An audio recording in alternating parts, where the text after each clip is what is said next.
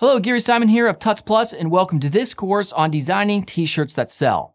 Now, we all have them and we all wear them, and we're more likely to wear a t-shirt that's well designed and has a unique concept, which is what this course is all about.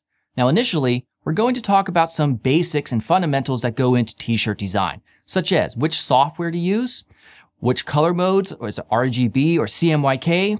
We're going to talk about proportionality and also just creating solid concepts.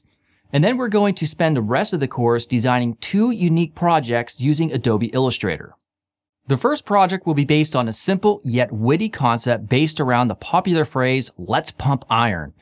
We'll be using basic tools to achieve this design. Then we're going to work on a more elaborate concept based around another quote, fight fire with fire. And this time we'll be using a drawing tablet to achieve this design.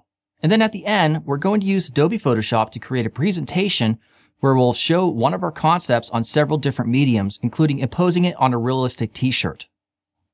So if you're ready to learn how to design t-shirt concepts that sell, let's begin by proceeding to the first lesson.